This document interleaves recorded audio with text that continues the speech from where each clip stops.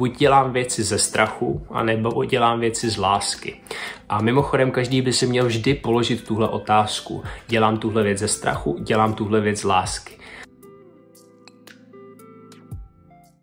Ahoj, já vás vítám na kanále z nejhoršího vevnitř a v dnešním videu budu mluvit o strachu, budu pokračovat eh, v té mojí sérii o úrovních vědomí.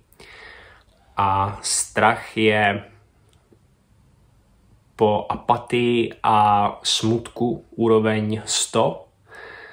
A ten strach se od toho smutku liší tím, že když jsme v úrovni strachu, tak už máme trochu více energie, než v tom smutku, když vlastně procházíte nějakou depresí, nějakým smutkem, tak je to takový stav, kdy nemáte příliš energie a ten strach, tam už ta, té energie je více. Nicméně vy jste v takovém módu velmi reaktivním obecně.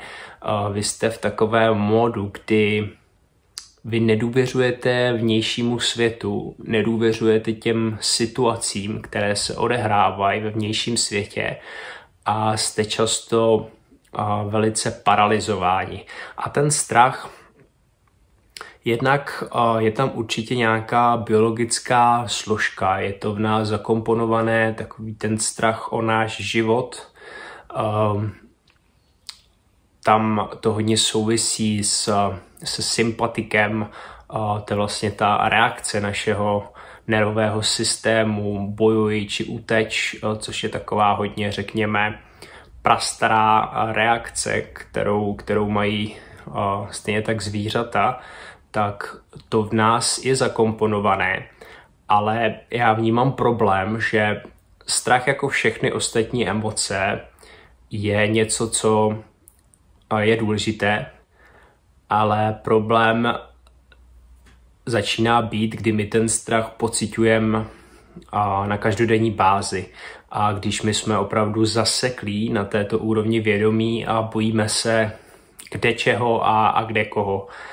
A a to potom je potřeba s tím pracovat. To je takový ten iracionální strach. A já si ale myslím, že tenhle iracionální strach může být ve skutečnosti skvělým kompasem a přesně nám říká, s čím pracovat, do čeho se pustit. A, a asi to nebude populární rada, ale já si myslím, že my když opravdu odhalíme a nějaký ten náš iracionální strach, jako mluvit před lidmi a podobně, tak si myslím, že bychom se právě do těchto věcí měli pustit. A můžeme si předtím třeba položit otázku, co nejhoršího se může stát,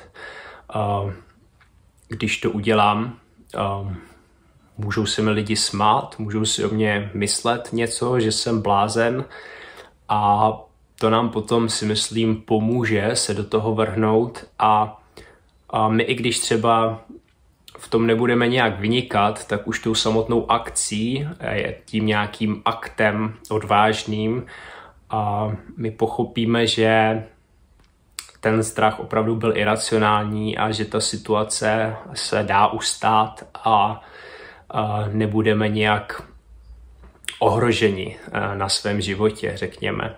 Protože ten strach eh, vlastně ze života eh, je ten strach všech strachů.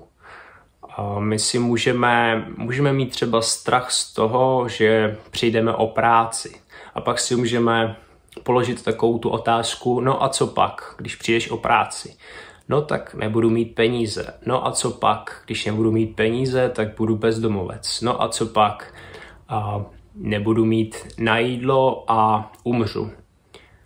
A vždycky se vlastně dostaneme k té smrti. A proto si myslím, že lidi, kteří prožili klinickou smrt a, a zjistili, že ten prožitek není nijak řekněme, strašidelný, eh, tak eh, podle mého se jim rozplyne většina strachů v jejich životě a, a žijou daleko, řekněme, jsou více uvolnění.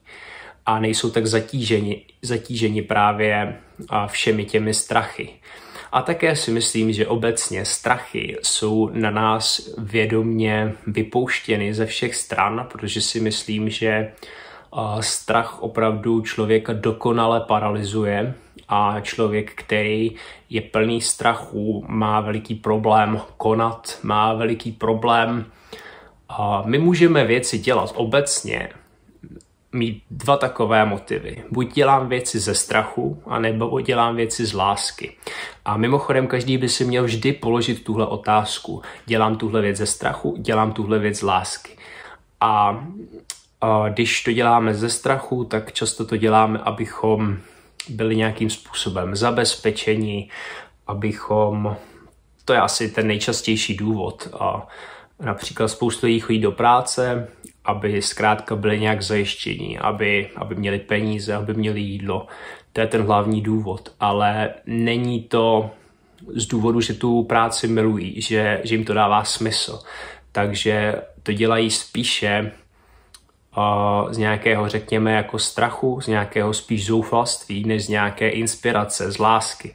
Ale takhle to funguje i u, u dalších aktivit. A bohužel uh, dnešní době spoustu věcí se dělá právě z toho strachu a, a málo co se dělá z té lásky, ale já si myslím, že každý by si měl předtím, než něco udělá, položit tuhle otázku.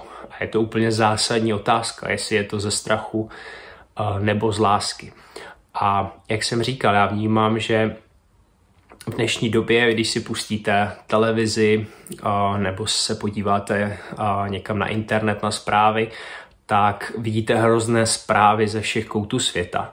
A to je právě, já si myslím, že to je i, i úmyslem na vás házet tenhle strach, protože opravdu vy, když budete v tom strachu, tak budete samozřejmě daleko poslušnější a budete vlastně dělat přesně to, co se vám řekne, protože tam venku řádí tohle. Nemusí mít daleko, co se tady teď dělo poslední dva, tři roky, tak to je typický příklad. Je tady venku něco šíleného a vy se zavřete domů a udělejte tohle, tohle, tohle. A spoustu lidí to přesně tak dělalo a já doteď. A včera jsem byl se poradit na bruslích a viděl jsem pána a s rouškou, takže pořád to asi funguje. Lidé stále mají strach a to právě díky, díky té masové psychóze, která je tady vypouštěna. A já bych řekl, že vy, abyste ovládal velkou masu lidí, tak to musíte vždycky dělat přes strach. Tam není jiná možnost. A tohle ti, kteří jsou u moci, velmi dobře ví. Takže tím jenom chci říct, že ten strach je opravdu mocný, ale takový protilék na strach je vždycky láska. A proto je i důležité mít třeba nějakou podporu. Osobu, partnera, přítele, který, který vám dodá nějakou psychickou podporu a řekne vám, jo, jo, to zvládneš, já ti věřím, mám tě rád. Myslím si, že tyhle věci velice pomáhají, aby vy jste rozpustili ty strachy a a ve finále ten strach, vy se mu podle mě nemůžete vyhnout a je potřeba si tu situaci, které se tak bojíte, prožít. Prožít a naprosto ji přijmout. A necítit k ní žádný odpor. A, a to je, jak se rozpustí ten strach. A i David Hawkins zmiňuje, že vlastně strach je produktem ega. A dnešní doba ovšem se hodně zaměřuje na ego a málo kdo věří na nějaké koncepty, jako je duše a Bůh a podobně.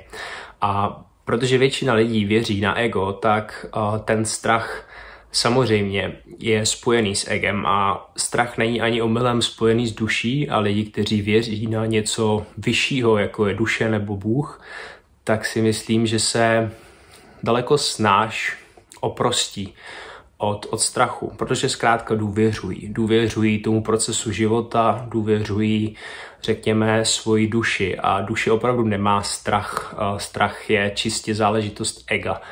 A, a jak, jak jsem říkal, ten strach a, už se opravdu táhne delší dobu. Je to nějaký, řekněme, i takový generační strach, A, ale do velké míry ten strach opravdu je i vypouštěn do nás záměrně, abychom v této vibraci se trvávali. A myslím si, že my, když opravdu si uvědomíme, že se nemáme čeho bát a že je to tak, jak to má být a opravdu důvěřujeme něčemu vyššímu, tak můžeme jít dál a, a dostat se z té, z té vibrace strachu. Nicméně já vím z vlastní zkušenosti, že těch strachů je celá řada a, a opravdu si myslím, že málo kdo na tomhle světě se oprostí od všech strachů. Já třeba jsem mluvil o strachu z odmítnutí, strach z opuštění, což je strach, který souvisí s tím zraněním, způsobené, které je způsobené opuštěním a to jsou takové ty strachy, které, které máte od malička, které to jsou ty generační traumata, které se vlastně přehazují od prarodičů k vašim rodičům a na vás. A a vy pokud už to nechcete přehodit na svoje děti, tak s tímto strachem musíte se naučit nějak pracovat, zpracovat ho, přijmout. A těchto strachů je opravdu hrozně moc, takže já chápu, že to je docela velká práce. Nicméně, myslím si, že velká věc je obecně více důvěřovat, více důvěřovat tomuhle světu, vesmíru a uh, i sami sobě, té svojí cestě. A takový ten, my chceme hodně všechno kontrolovat a hodně chceme, hodně nám záleží na tom, co ty ostatní, co si myslí ostatní, chceme potvrzení zvenku a to jsou takové věci, které my, když se naučíme, naučíme se důvěřovat sami sobě a tomu vesmíru, že nám dává přesně to, co máme mít, tak jsme opravdu na nejlepší cestě. A to bylo pro dnešek všechno. Já vám držím palce při zpracování strachu nebo obecně strachu a u dalšího videa mějte hezký den. Ahoj.